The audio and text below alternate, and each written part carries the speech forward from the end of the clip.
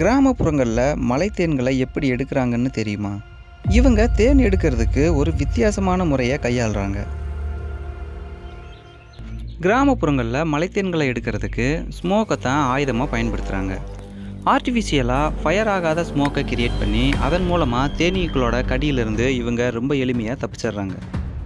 ஸ்மோக்கை create பண்ண இவங்க பல யுக்திகளை ஃபாலோ பண்ணுறாங்க அதில் ஒன்றை தான் இப்போ நாம் பார்க்க போகிறோம் welcome back to my channel rural act தேனீக்களை கூட்டிலேருந்து கிளைக்கிறதுக்கும் தேனீக்களோட கடியிலிருந்து இவங்களை பாதுகாத்துக்கிறதுக்கும் இவங்க பயன்படுத்தக்கூடிய பொருளோட பெயர் தான் சூட்டைன்னு சொல்கிறாங்க இதை இவங்க தன் கூடவே தேனீக்கள் கட்டப்பட்டிருக்கக்கூடிய அந்த இடத்துக்கு எடுத்துகிட்டு போகிறாங்க அந்த இடத்துல அந்த சூட்டையில் நெருப்பை மூட்டி தேனீக்களை ரொம்ப எளிமையாக கிளச்சிட்றாங்க. அத்தோட தேனீக்களோட கடியில் இருந்தும் தன்னை பாதுகாத்துக்கிறாங்க. இவங்க பச்சை இலைகளையும் காய்ந்த சருகுகளையும் கொண்டு தான் இந்த சூட்டையை ரெடி பண்ணுறாங்க அதற்காகத்தான் இப்போ இந்த இடத்துல பச்சை இலைகளை சேகரிச்சுக்கிட்டு இருக்கிறாங்க. ஒருத்தவர் பச்சை இலைகளை சேகரிக்கும் பொழுது இன்னொருத்தவர் பார்த்தீங்கன்னா காய்ந்த சருகுகளை சேகரிச்சுட்டு வராரு. அப்புறம் அடுத்து அடுத்து ஒவ்வொருவரும் ஒவ்வொரு வேலையை செய்ய ஆரம்பிக்கிறாங்க. இந்த சூட்டையை ரெடி பண்ணுறதுக்கு தேவையான காய்ந்த சருகுகள் தென்னை ஓலை பாலை பண்ணாடை பச்சை ஈக்கின்னு சொல்லிட்டு அனைத்தையுமே ரெண்டு நிமிஷத்தில் சேகரிச்சுட்டு வந்துட்டாங்க. இந்த சூட்டையை ரவுண்ட் ஷேப்பில் ரெண்டு லேயராக இவங்க கட்டமைக்கிறாங்க.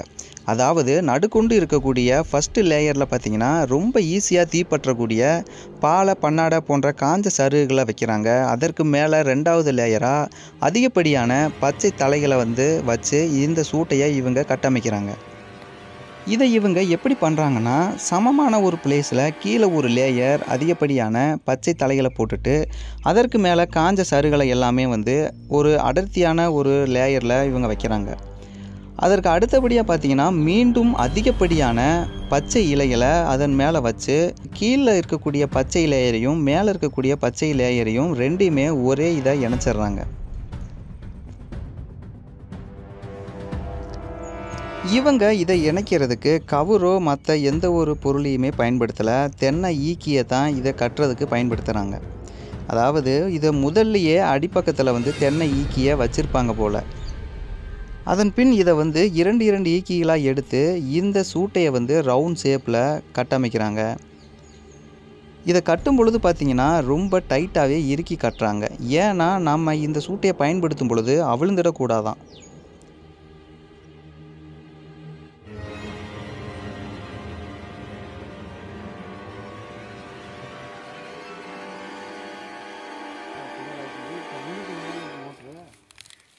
தனியாக இருக்கு.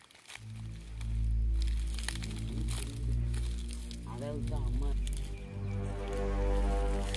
என்ன குறைச்சி குறைச்சி எனக்கு தூக்கி போகிறான் எப்படி பங்கு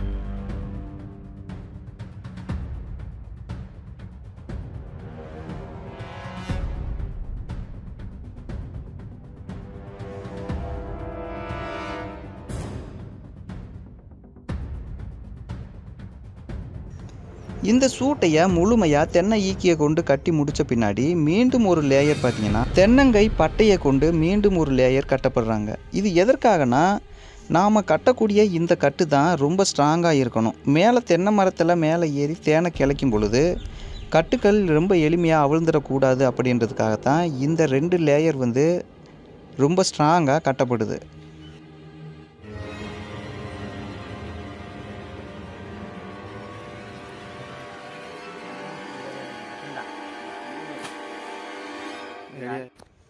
இதையடுத்து கட்டி முடிக்கப்பட்ட சூட்டையை ஒரு நபர் எடுத்துக்கிட்டு தேன் இருக்கக்கூடிய அந்த இடத்துக்கு மேலே போயிட்டு இருக்கிறாரு. இதன் பின் பார்த்தீங்கன்னா தேன் இருக்கக்கூடிய இடத்துக்கு போனதின்னு அந்த சூட்டையை காஞ்ச சருகுகளில் பற்ற வைக்கும் பொழுது புகை வந்து அதிகப்படியில் வெளியே வரும்.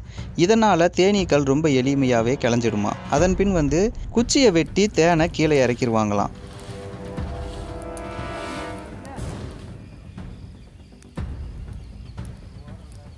இறுதியாக நல்லபடி தேனை கீழே வெட்டி இறக்கிட்டாங்க. அத்தோட அதை எடுத்துகிட்டு வந்து வெட்டவும் ஆரம்பிச்சிட்டாங்க. இந்த ஒரு காட்சி பார்க்கவே ரொம்ப இன்ட்ரெஸ்டிங்காகவும் இருந்துச்சு. ரொம்ப ஆச்சரியமாகவும் இருந்துச்சு.